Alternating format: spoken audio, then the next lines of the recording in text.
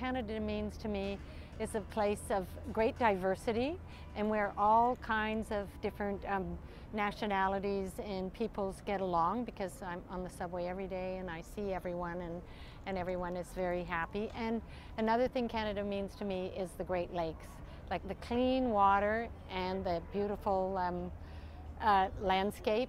Uh, so the water to me is extremely important.